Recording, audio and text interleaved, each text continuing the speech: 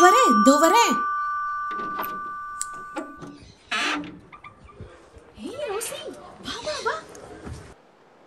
என்ன ஆச்சு? எப்படி இருக்க? ஏதோ இருக்கேன். ஏன் இப்படி சொல்ற? வா வந்து ஏதாச்சும் சாப்பிட்டுட்டே பேசுவோமா?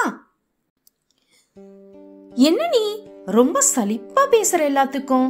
ஆமா இந்த பிசாசு இருக்கானே போட்டு படுத்துறான். மைண்ட போட்டு டிஸ்டர்ப் பண்றான். நீ எப்ப பாரு பிசாசு பிசாசுன்னு சொல்லி பிசாசையே சொல்லிட்டு இருக்காத. இதுல உன்னோட பங்கு இருக்குன்றத நீ மறந்து போற. ஏன் பங்கா? நான் என்ன பண்ணேன் இந்த வத்தி குச்சி எடுத்து பார்த்தோம்னா முன்னாடி மட்டும்தான் மருந்து இருக்கு. இது நம்ம பத்த வைக்கும் போது இதுல மருந்து மட்டும் எரியாது. இந்த குச்சி முழுசாவே எரிஞ்சிடும். அது போலதான் பிசாசு ஒரு காரியத்தை நமக்கு ட்ரிகர் பண்ணி விடுவான். ஸோ அதுக்கு நாம தீனி போட்டு தீனி போட்டு அதை பெருசாக்கி அதை நம்ம பத்தி எரிய வச்சிடுறோம். அது போலதான் பிசாசு அநேக நேரத்துல நம்மள ட்ரிகர் பண்ணுவான். ஆனா நம்ம அதுக்கு இடம் கொடுக்காம அப்பவே அதை ஸ்டாப் பண்ணிடணும். எப்படி? எனக்கு தெரியல என்ன சொல்றீங்கன்னு. அவன் நம்மளை ட்ரிகர் பண்ணுவான்.